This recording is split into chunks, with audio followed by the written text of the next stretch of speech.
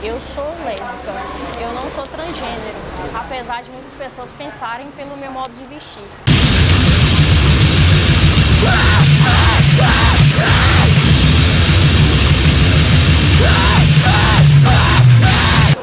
Eu fui criada numa cidade pequena, é... então já tinha uma visão bem fechada. Aos 14 anos eu, eu mudei para Ipatinga, comecei a trabalhar, a estudar, né? Então já conheci outras pessoas, comecei a me identificar né, com situações diferentes.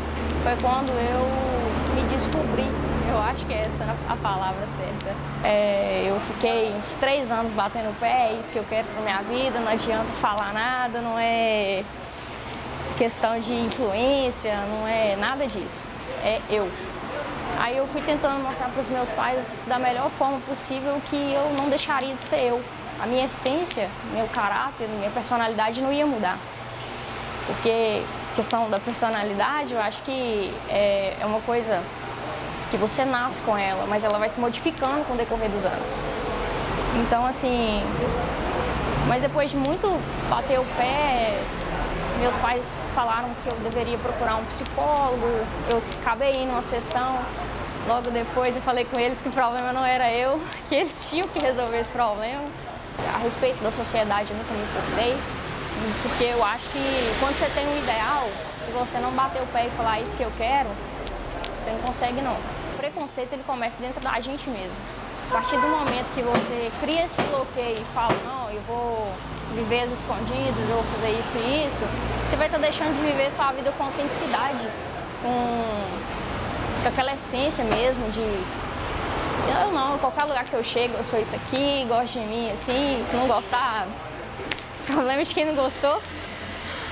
Mas é isso, velho. Eu acho que você tem que levantar a cabeça e falar, velho, eu sou ser humano como qualquer outra pessoa, conquistar seu espaço. Eu sou mulher, eu gosto de mulher e pronto. Ah, isso foi desde nova mesmo, antes de me assumir. Mas aquela questão de vir de uma cidade pequena, nunca tive coragem de fazer e também não tinha com quem, né? Digamos assim. Mas assim que eu me mudei para cá, que eu entrei no ensino médio, que eu fui conhecendo pessoas, fui conversando a respeito, até que chegou a acontecer, mas vontade é, sempre tive. Desde que, né, começa a fase da adolescência. Você quer descobrir as coisas.